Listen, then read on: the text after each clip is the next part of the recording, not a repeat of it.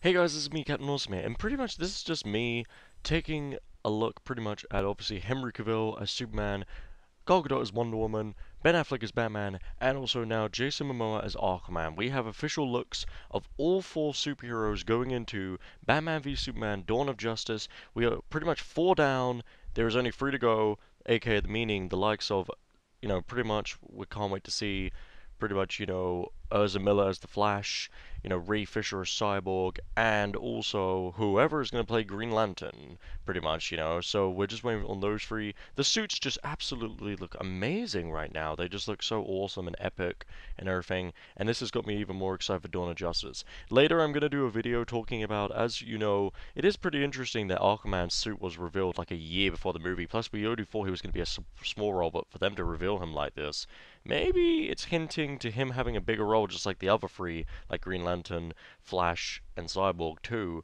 And maybe this is even bigger than just about the Trinity. Maybe it is truly a true build up to the Justice League, which we all know it is, pretty much. So leave a like and comment for your opinion, subscribe for more videos, be with more guys, and bye.